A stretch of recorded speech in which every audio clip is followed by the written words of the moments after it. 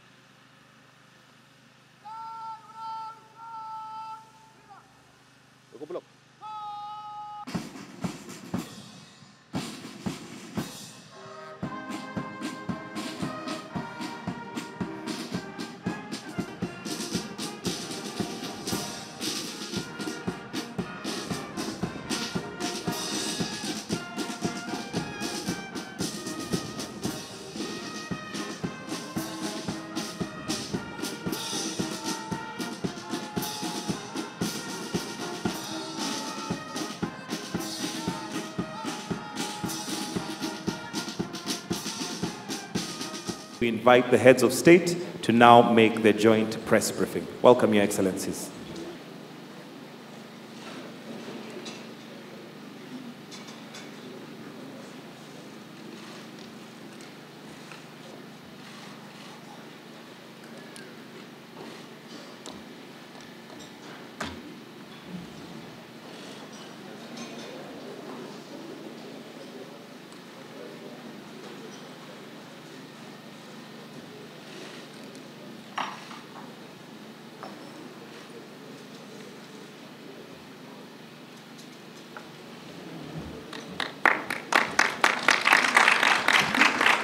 We now have geographical advantage with Nairobi serving as the hub and gateway opportunities.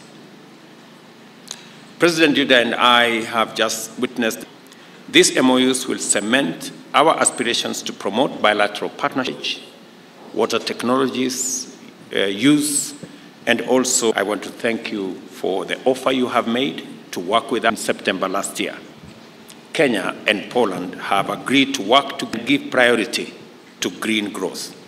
We have also committed to advocating for a more reformed and inclusive give priority to green growth.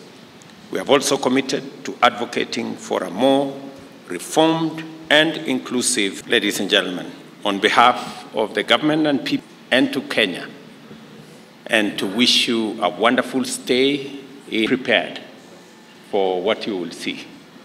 Kenya and Poland share a long-standing relations dating deeper relations between our two countries.